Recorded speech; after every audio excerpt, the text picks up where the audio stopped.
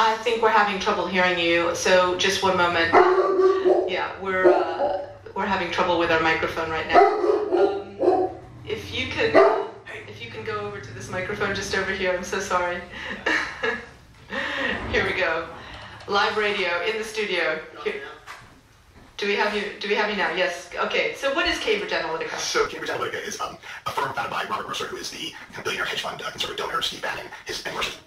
And their conceit was that we're going to use big data to map the personality of every voter, and through this kind of personality assessment, be able to predict their behavior and be able to message that message at them, like figure out who's neurotic and fearful, who's open-minded, who loves the occult, and, and we'll be able to kind of reshape American culture and reshape American political culture with this really powerful new data science. Uh, you call what happened a huge data breach. Can you explain?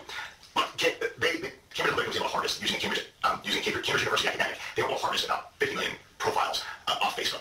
That information was supposedly for academic use only. It ended up in a private data firm run by a conservative billionaire. So basically, a bunch of data went from one place it was supposed to be to another place it wasn't without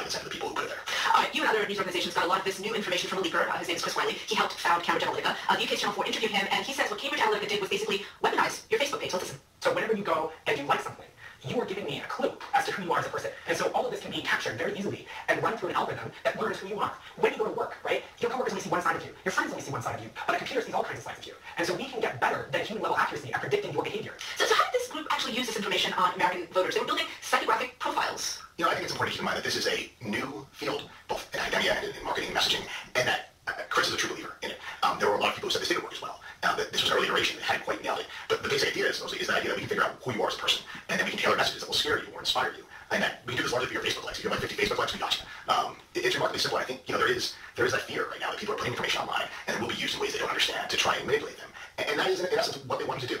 Uh, and of course, um, Cambridge Analytica, as you mentioned, was involved in helping President Donald Trump get elected. Uh, I want to play a little bit more Wylie speaking to Channel 4 about how specifically Steve Bannon, who was Trump's uh, chief, chief strategist, wanted to use this Steve wanted weapons for his culture war. That's what he wanted. We offered him a way to accomplish what he wanted to do, which was change the culture of America. Uh, change the culture of America. That seems like a big remit. Uh, did it change people's minds? Is there any evidence you say that we really don't know? It, it's not inclusive. Um, you know, there were a lot of people around the Trump campaign who said they didn't do that much, and what they did wasn't that great. Uh, it's, it's Cambridge Analytica's track record is, is very uncertain, and whether it will have any major clients in the coming election cycles is really, really deeply uncertain right now. Uh, you know, I think everybody has to remember this is a really, really young field, and that if this is going to develop, and it may, um, it's going to do a while. Uh, how does what you uncovered link to Robert Mueller's investigation into election interference? So we know that, that Mueller has, has asked Cambridge Analytica for all the documents and emails related to his work in the Trump campaign. Um, what exactly they're investigating is hard to say. Uh, you know, the Mueller investigation is this black box. Mm-hmm. They, don't, they, don't, talk. You know, in, in, our work, we also found a number of kind of odd, almost unexplained connections to Russia. They, they Lukoil, which is a, a Russian oil company that's pretty tight with, with some of Putin's inner circle, they kind of showed up in the summer of 2014. We're like, hey, we're talking about American voter data. Um, which is odd. Because they're an oil company. Why would they be interested in that? They have like one, two gas stations in the U.S. and one in Georgetown, actually. Um, so it was kind of strange what they wanted out of the U.S. And, and so, you know, where Mueller's going, we don't know. Matthew Rosenberg from the New York Times, thank you so very much.